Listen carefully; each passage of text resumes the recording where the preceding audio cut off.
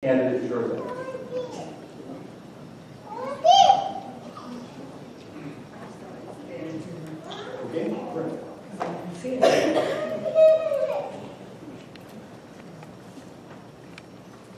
What, if any, are the one or two major decisions made by the city council in the last three years in which you would have voted differently from the majority and why? Can we please have the last question? What, if any, are the one or two major decisions made by our city council in the past three years in which you would have voted differently from the majority and why?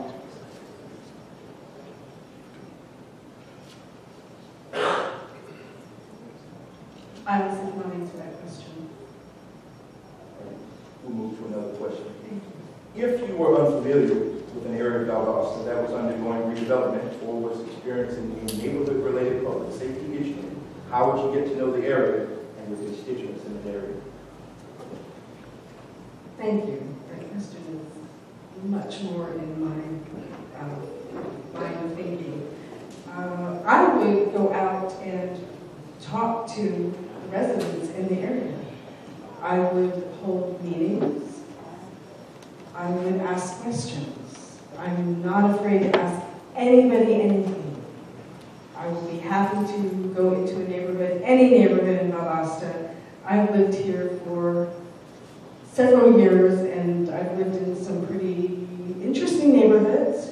And I've walked my dog at three o'clock in the morning when she wanted to go out. I've walked my dog at seven o'clock in the evening. I honestly do not have a problem going out into any neighborhood and talking to the neighbors. As a matter of fact, when I moved here, and actually in the past seven years, due to circumstances beyond my control, trying to sell a house in Tennessee, I've lived in four places, four different neighborhoods in Valdosta, and I'm still friends with neighbors from each of those neighborhoods because I went out and met people and talked to them and asked them about themselves, which I think is crucial to someone in a position of city council, not to try to tell them what I want, but to ask them what they want.